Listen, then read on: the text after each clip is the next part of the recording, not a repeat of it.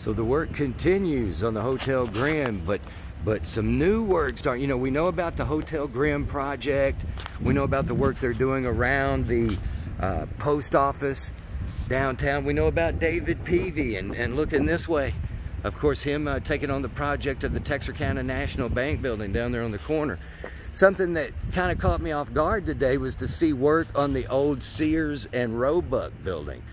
This uh, this is on the corner of 3rd and Pine Street, or um, I'm sorry, it's Scott Joplin Way now.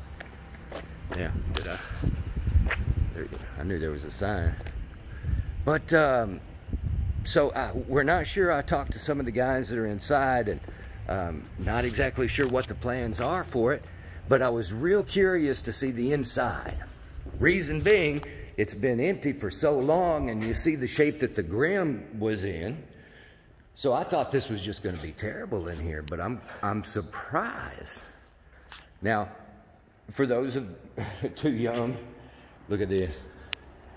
For those too young to know, uh, I'm not going to go down there, but a little basement area down there. But Sears and Roebuck, for a long time, there's the old elevators right there. But Sears and Roebuck was a catalog business, right? So all of these outlying communities, I mean, Texarkana was the metropolis, okay? So all these outlying areas, if they needed something, anything, they got it on uh, through the catalog. Old old bathroom and that urinal there. What's back here? Again, I'm not going down to the basement. We're just taking a quick tour through. A lot of folks may never have been inside this building.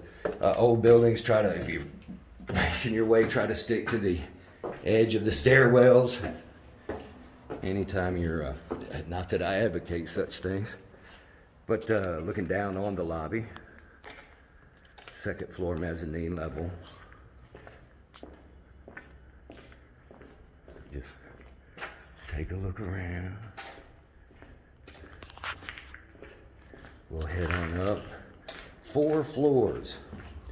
So I'm, I'm curious, I'm thinking the higher up we get, we might see some, you know, age damage from the years of, of standing empty here, all these old doorways. So this would be our third floor. Big, huge area. So, I mean, really anything could be done with this place, right? Oh, great. Don't forget your downtown wildlife.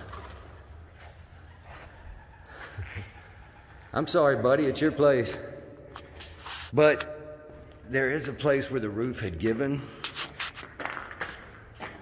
I don't know what we're going to be able to see up there, but we will, uh, we'll go look. So again, elevators over there. On up to the next floor.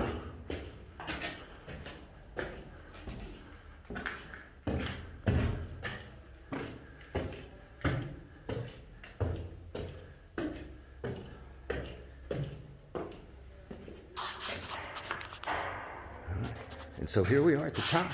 You know what? Um,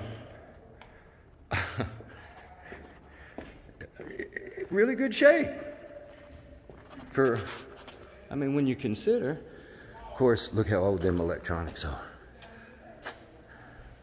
They're gonna have a lot of work cut out for them to get this done, but it's beautiful to see that somebody has started on it. Um, that's all it took. It was like a domino effect. Somebody put out that money and start working on it, and the others follow suit. And we can see daylight there. So that's as high as we're going. Pigeon, sorry guys, it's your place. So yeah, you know, clear out the wildlife, and uh, but my gosh, it's it's in really good shape, considering.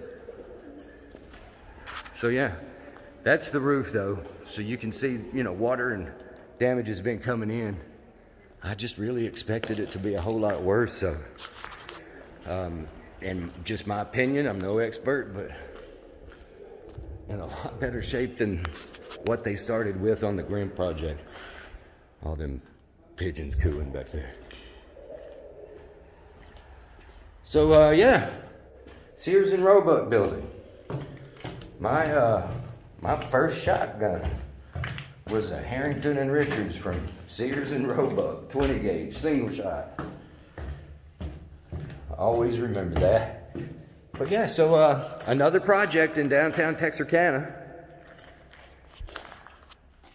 Worth getting excited over. But uh, very cool. Let's go now. We'll get out of here and let these guys crank up all their machinery because they're, they're ready to get to work. I'm excited to see what it's going to be. But there you go. Sears and Roebuck building, downtown Texarkana, is now under renovations as well.